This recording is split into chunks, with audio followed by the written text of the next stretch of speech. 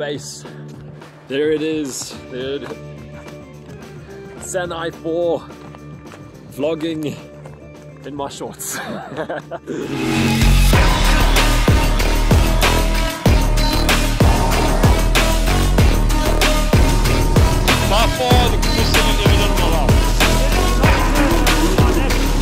My name is Eric Randall. Uh, I'm a meteorologist and I've just spent a year in Antarctica. So Eric, you've settled into your new home for a year. What happens next? Go through the process. Yeah, sure. So that's kind of when takeover takes place. Um, takeover is just a period of time when there's about 80 people on the base fixing, maintaining, um, teaching, and training all the new guys that are going to stay there for the rest of the year. Um, people have their various jobs, assigned jobs that they need to do. So that will be like maintaining the generators and that kind of thing so that there's no major problems throughout the year for the team that stays behind. Um, so there's only nine of us that, that stay behind throughout the whole year. Um, so we need those like extra set of hands to help us sort out the major problems. We had a fantastic team. I think there's no way, nowhere else to put that. I'm, I'm very grateful for them, and honestly, I would call them brothers. I think that tends to happen, you know, spending time with such good guys and also in such close proximity for an extended period of time. So tell us a little bit more about the daily run of things at the base. Okay, this is my observational deck. So I'll climb up this ladder and then view the sky from this dome here. And this will obviously give a nice viewpoint for the sky and what's happening around us uh, for the observations used in the meteorological office. This is the South African Weather Service office, my office for the year. This is where I did all my work, all my operations, looking after the sensors, sending out observations to Cape Town.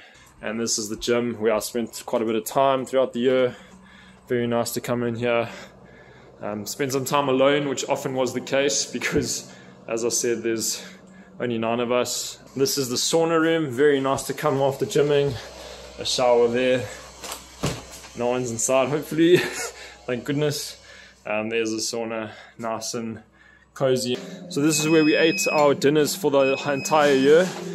Sorry about the alarm, something's getting going wrong at the moment. The waste room, very important room. Uh, we have different types of wastes that have to be taken back to South Africa. It can't be left in the oh, sorry on the continent of Antarctica. And here is the bar area slash table table tennis room. Um, just another room for entertainment.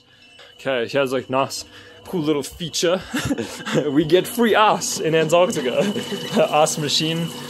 Find that quite ironic. You got a little library area. Very nice to just come and chill out here. Nice little room, very relaxing, nice and quiet as well. Here is the TV room.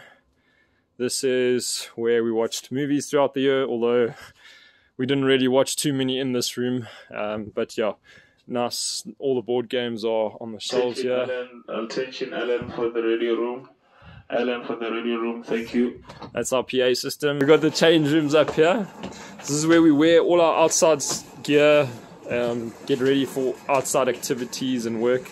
Today, myself and JC, the doctor, we've had to grade the runway using that grade over there because the runway throughout the course of the year has been covered by snow. Uh, you know, just obviously the wind blowing in and whatnot. So there are Germans coming now on the 30th of November, seven days time, a week from now, and they need to know where the runway is in order to land. Mentioned something about smelly. Yeah, so, so it's not what people initially think. Uh, so smelly is just a term given to what was previously known as snow melter. Um, snow melter went down to smelter and now is currently sitting at smelly, which is the term that everyone on the base uses for, for, this, for this operation. Um, so smelly is basically a massive container in the ground that is situated around 50 to 100 meters away from the base. And what you do is you go down to the smelly and shovel snow into this container. Alright, so once the uncovering process is finished, we have the filling of the smelly.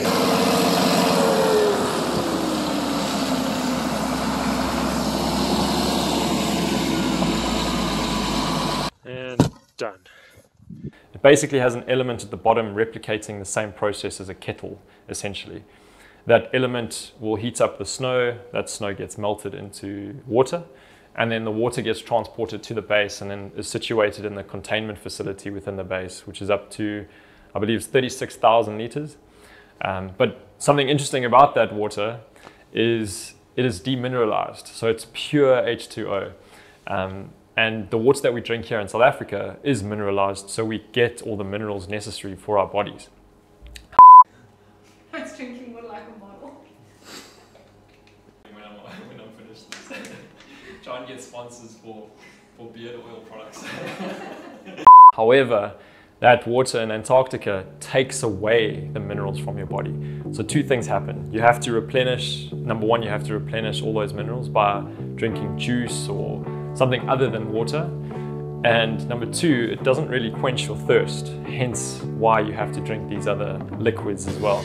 So you could think that you're drinking a liter of water when in fact it's two liters of water and you feel the same way as you would if you've only drank one, one liter.